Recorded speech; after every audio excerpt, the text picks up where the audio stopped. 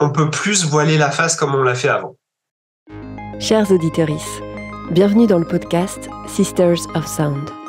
Ensemble, on va parler de la carrière des musiciennes indépendantes, de leur vécu, de l'envers du décor et aussi de leur place dans l'industrie musicale. Ça veut dire quoi le succès? Est-ce qu'on peut être musicienne et maman? C'est quoi être une femme dans cette industrie? Comment garder la flamme? Et si on renversait toutes ces règles? Je suis Domiti de Lamberterie, alias Mitty, musicienne, compositrice, chanteuse, productrice et voix off. Et j'ai interviewé une vingtaine de musiciennes et de professionnels, majoritairement autour de la quarantaine, pour leur poser toutes ces questions. Ce podcast est le récit de cette aventure.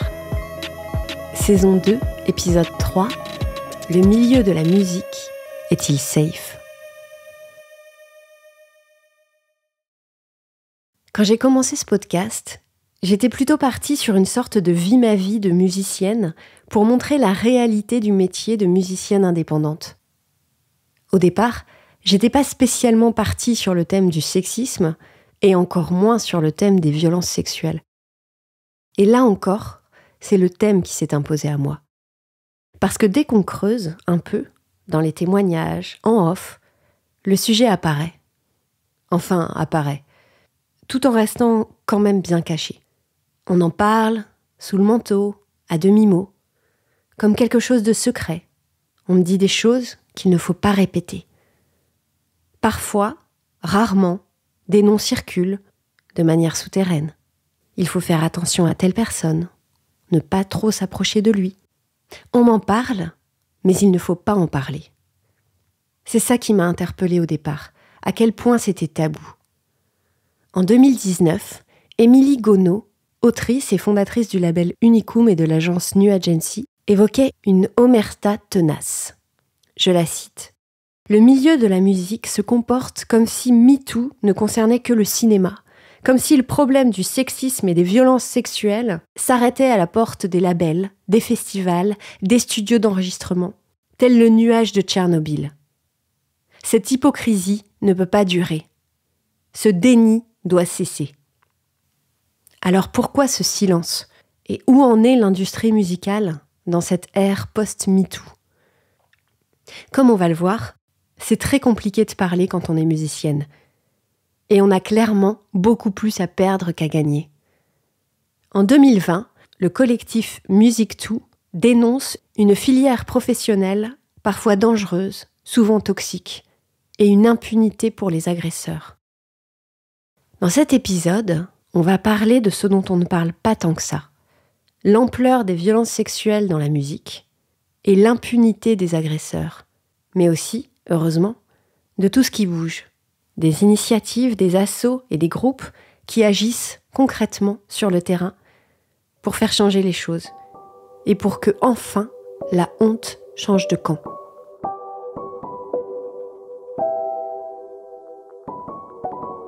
bah, Elle est à poil la chanteuse. Ça, c'est vraiment quelque chose que j'ai beaucoup connu. Tu as des gens qui veulent que tu leur suces la bite pour, pour des dates, quoi. Ou juste leur façon de te faire sentir qu'ils ont le pouvoir sur toi. J'animais des balles pour des mariages, etc. Et là, j'ai compris que devenir une chanteuse c'était, et devenir une femme, c'était devenir un bout de viande. Mon compagnon à la ville et à la scène me servait de garde du corps, quoi. Et puis il y a encore des milieux où tout le monde trouve ça normal euh, de, d'insulter les femmes qui font de la musique. On peut, on peut plus voiler la face comme on l'a fait avant. En parler, c'est, c'est risqué. Être une femme ou être une personne minorisée dans l'industrie musicale, ça a un coût. Ce qui peut parfois donner envie de tout arrêter, c'est justement l'inertie des hommes dans ce milieu. Et euh, le fait qu'il y a encore tellement de, mecs euh, toxiques et dangereux en place, très en place. Et, euh, la, la, complaisance de l'industrie face à ces gens-là.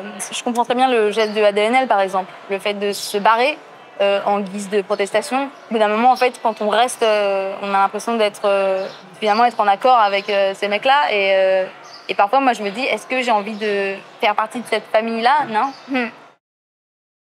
C'était Flore Benguigui, pour qui le constat est clair. Il y a des hommes dangereux en place, très en place, et une complaisance du milieu qui ferme les yeux. En 2021, la chanteuse Pomme écrit une lettre publiée par Mediapart où elle raconte sa propre expérience et dénonce également l'ampleur des violences qui minent l'industrie musicale. Voici quelques extraits. Cet été, Music2 a recueilli plus de 300 témoignages de harcèlement, agression et viol, réalisés dans 98% des cas par des hommes sur des femmes. Il y a donc un grand nombre d'hommes qui évoluent dans cette industrie en étant des harceleurs, des agresseurs, des violeurs. Un nombre que personne ne peut imaginer. Prenez conscience d'une chose. Vous les voyez à la télé, vous les entendez à la radio, vous les applaudissez en concert, vous les acclamez, vous consommez leur musique. Je la consomme aussi, sûrement, sans le savoir. Parfois, je suis dans les mêmes loges, dans les mêmes salles, sur les mêmes scènes qu'eux. Ils sont libres. Ils sont exempts de la justice. Parce qu'ils sont des hommes, riches, puissants, assis sur des sièges de velours brodés de leur nom en lettres d'or, desquels rien, pas même la justice, ne saurait les déloger. Pourquoi les femmes ne portent pas plainte? Pourquoi dénonce-t-on les coupables sur Instagram? demande Jean Bernard, 57 ans. Parce que la justice les acquitte, mesdames et messieurs.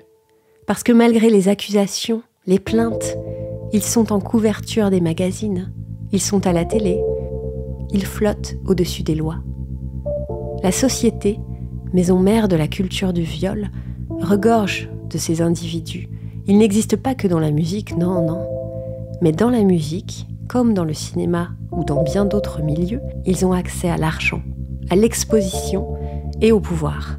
Le cocktail parfait pour être des criminels en toute impunité.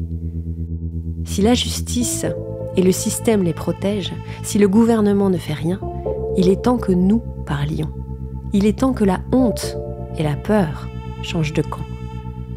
Nous sommes capables d'identifier ces comportements et ces agressions. Nous sommes capables de les renverser et de changer les choses.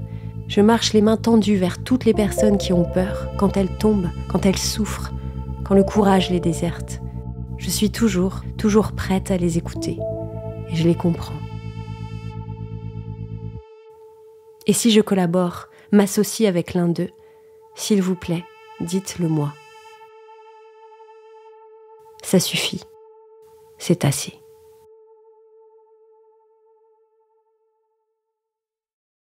C'était Pomme. Extrait de sa lettre De là où je suis, j'ai décidé de dire les choses. Alors qu'est-ce qu'on répond à Jean Bernard, qui se demande pourquoi les femmes ne portent tout simplement pas plainte? À ceux qui commencent toujours par mettre en doute la parole des victimes sous prétexte de présomption d'innocence à ceux qui se demandent si elles ne font pas ça pour la gloire, ou pour l'argent, ou pour relancer leur carrière. Quand on commence à creuser le sujet, on comprend très vite que les victimes ont tout à perdre. On n'invente pas un viol pour relancer sa carrière, parce que paradoxalement, dans notre système, c'est plus risqué d'être victime qu'agresseur. Donc oui, Jean-Bernard, souvent elles ne portent pas plainte. Peut-être parce que c'est douloureux de revivre encore et encore une expérience traumatique, ou parce que la justice ne les entend pas, ou peut-être qu'elles sont découragées du fait que moins de 1% des plaintes aboutissent à une condamnation, ou tout simplement qu'elles n'ont pas les moyens, quand on sait que le budget moyen, c'est entre 4 000 et 10 000 euros de frais à payer pour la victime, ou parce qu'elles redoutent le cyberharcèlement, ou parce qu'elles savent qu'elles prennent l'immense risque d'être blacklistées, de ne plus pouvoir travailler et d'être perçues uniquement comme une victime. Ou alors parce qu'en plus de tout ça, elles risquent aussi d'être attaquées et condamnées en diffamation par leur agresseur. Puisque de toute façon, ce sera sa parole contre la sienne. J'ai rencontré Jean-Michel Aubry-Journet, manager d'artistes, qui a participé à la création de Music 2 France, dont l'initiative est justement partie de ce constat. Comment permettre aux victimes de témoigner et de dénoncer leur agresseur sans qu'elles en payent le prix fort?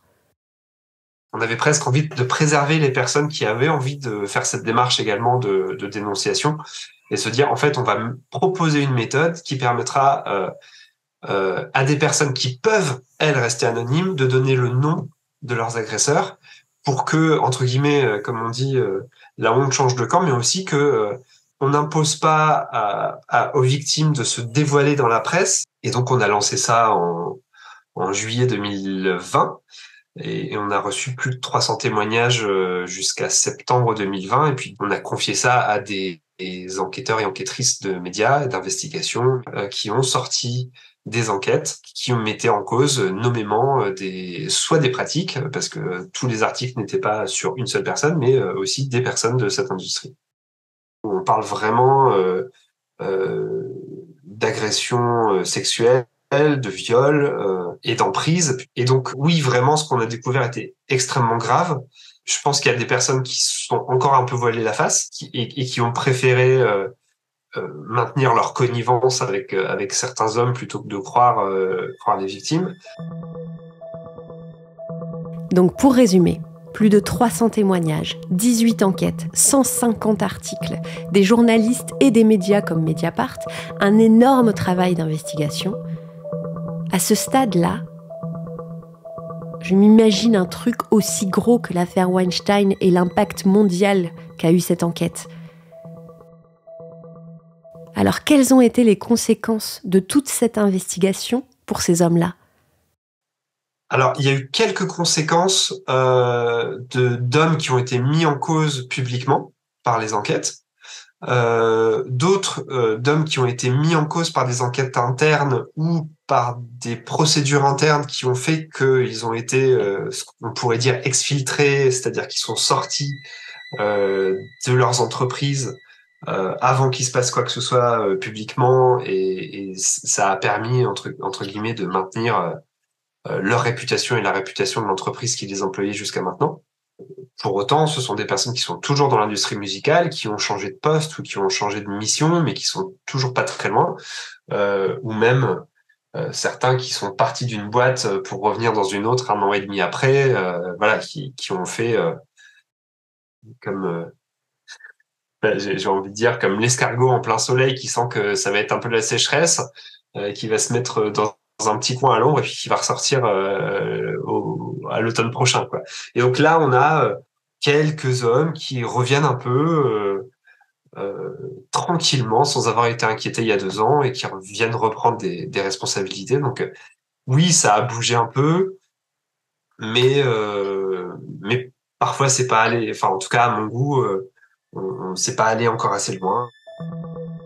Ok, donc tout va bien pour eux. On fait profil bas, on disparaît discrètement le temps de se faire oublier, et on revient tranquillement à un autre poste, ni vu ni connu. Finalement, je me demande si on n'a pas plus de chances de se faire blacklister en étant enceinte. Surréaliste, non?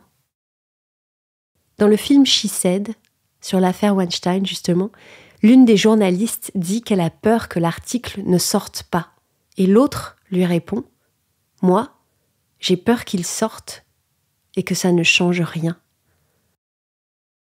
Il y a encore du chemin pour sortir de l'inertie et de l'impunité. Et pour les victimes, comment ça se passe? La justice de notre pays n'est pas faite pour accueillir les victimes de violences sexistes et sexuelles, euh, qu'on est sur une justice qui a besoin de matérialité des faits. Euh, en revanche, euh, les agresseurs euh, présumés qui sont mises en cause de, dans des enquêtes peuvent se, utiliser la justice et attaquer des personnes en diffamation, ce qui se passe beaucoup en ce moment. Moi, j'ai été attaqué en diffamation euh, et il y a pas mal de femmes qui ont euh, témoigné euh, et qui sont également attaquées en diffamation dans la musique et ailleurs, hein, puisque euh, PPDA a attaqué en diffamation 16 ou 18 femmes, je sais plus.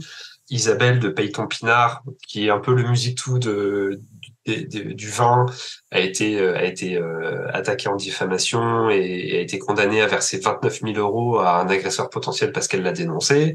Euh, voilà, donc c'est assez violent ce, ce retour de bâton, ce backlash vis-à-vis des lanceurs d'alerte, des lanceuses d'alerte et des victimes. Euh, mais pour moi, ça fait partie du jeu de pouvoir et de, force qui fait que nous, on a fait un pas en avant libérant la parole. Maintenant, c'est eux qui font un pas un peu plus agressif avec les attaques en diffamation. Et puis, J'imagine dans un an ou deux, on arrivera peut-être à rétablir euh, un peu, euh, un peu la balance en faisant en sorte que certains soient réellement condamnés. J'utilise souvent cette image de la piste de danse. C'est pas parce qu'il y a un mec bourré au milieu de la piste de danse qui tente la, technonique qu'il faut que nous on aille faire euh, une réunion euh, dans les toilettes en se disant bah, finalement l'espace intéressant a été pris par quelqu'un d'autre. Ce qu'il faut, c'est qu'on se donne de la force tous et toutes et sortir ce gars du milieu de la piste pour retrouver notre piste à nous. Moi, je considère que c'est notre rôle à tous et à toutes de sortir ces gens de notre industrie pour s'y sentir mieux et pouvoir euh, danser comme on le veut en toute liberté. Notre rôle à tous et à toutes. Depuis quelques années, il y a de plus en plus d'initiatives d'assaut et même de groupes de musique qui travaillent pour rendre ce milieu plus safe pour les musiciens et les professionnels, mais aussi pour le public.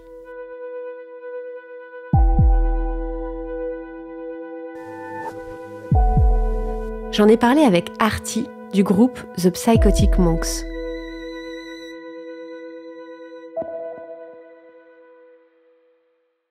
Ces dernières années, on a vraiment euh, vu des violences se produire au sein du public euh, et euh, notamment des violences sexistes et sexuelles.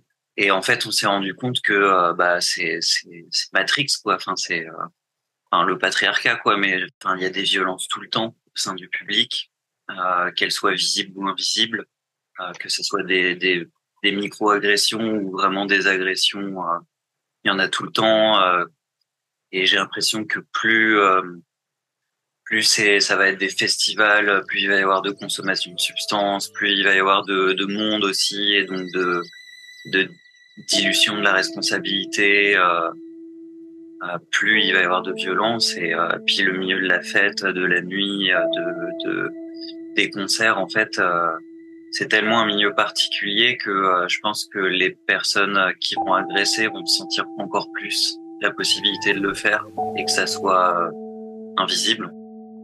Qu'est-ce que vous avez eu envie de faire en tant que groupe pour s'engager contre ces violences? Et du coup, bah nous, on s'est dit en fait, euh, on a envie de faire ce qu'on peut pour que qu'il y ait le moins possible de violence au sein au sein du public et que nos concerts soient des espaces les plus safe possibles pour tout le monde.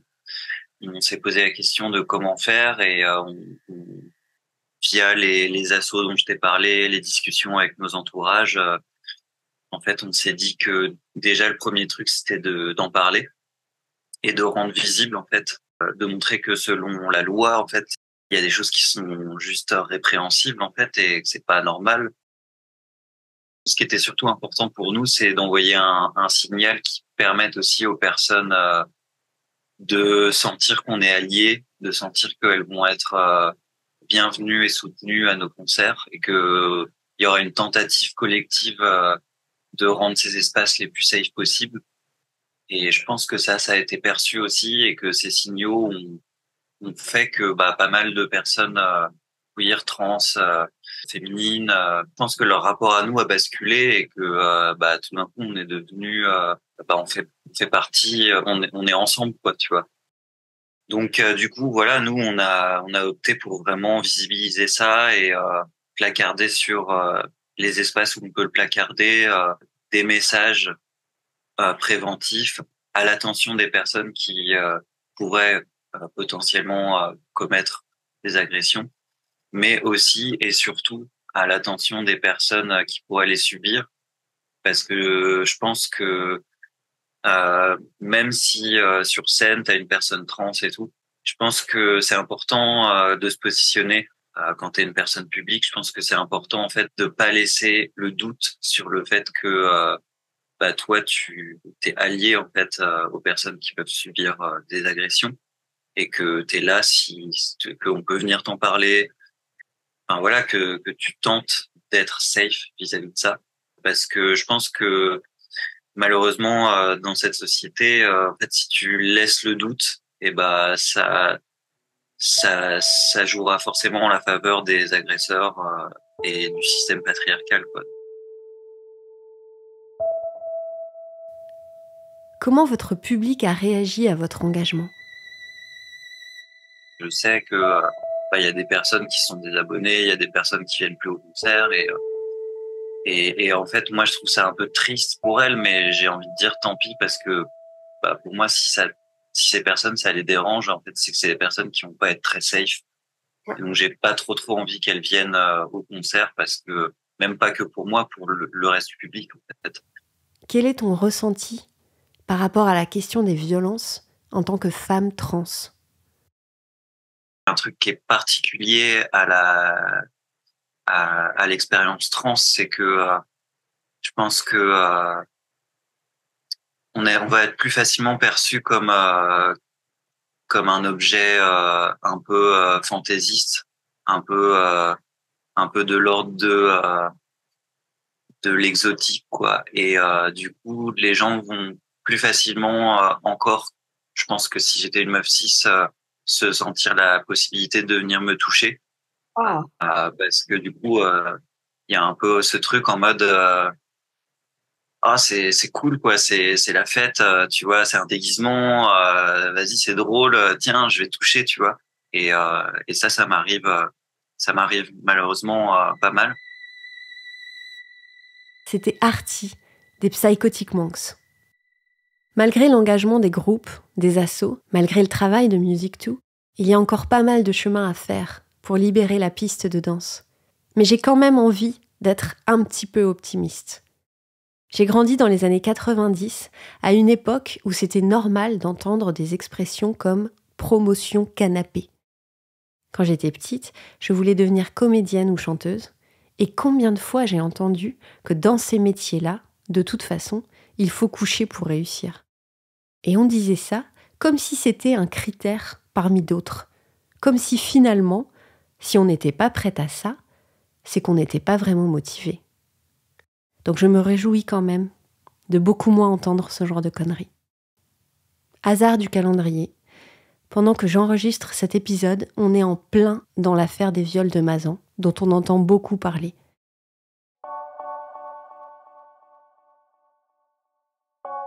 Espérons que la médiatisation de cette affaire provoquera une vraie prise de conscience et une évolution dans la prise en charge des victimes.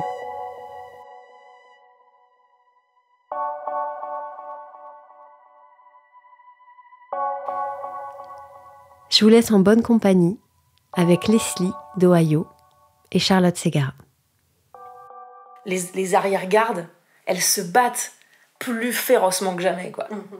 Et, et s'ils sont attaqués de, de toutes parts, c'est parce que en fait, euh, les gens, euh, on commence à se défendre contre eux. Donc il y a des gens qui sont capables de se remettre en question, mais ceux qui aujourd'hui se remettent pas en question, a priori, faut juste qu'on attende qu'ils partent. Quoi. Mais c'est pas grave parce que nous, on, on, repeuple, euh, on repeuple avec des femmes et des alliés tous les postes qui se libèrent. C'est le grand remplacement.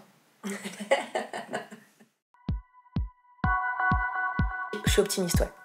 Carrément. Il y a des têtes qui sont tombées, par exemple, par rapport au MeToo musique. Il y a des choses qui changent. Les, les plus gros, les plus gros euh, horribles personnages ne sont pas tombés. Mais il y a quand même des têtes qui sont tombées. Il y a des choses qui évoluent, ça existe. Mais voilà, je pense qu'on n'est qu'au début et que rien n'est gagné.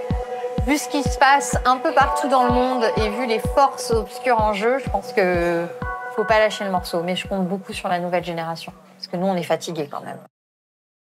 Je dédie cet épisode à toutes les personnes qui ont été victimes de violences sexuelles. Il existe un numéro et une cellule d'écoute psychologique et juridique mise en place par audience pour les victimes de violences sexistes et sexuelles dans le milieu du spectacle et de la musique.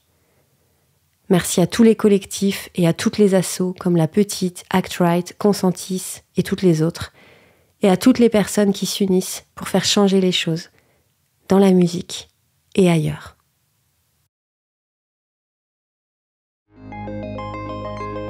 C'était Sisters of Sound, produit par Mermaids et le Grand Mix, et je vous remercie de l'avoir écouté.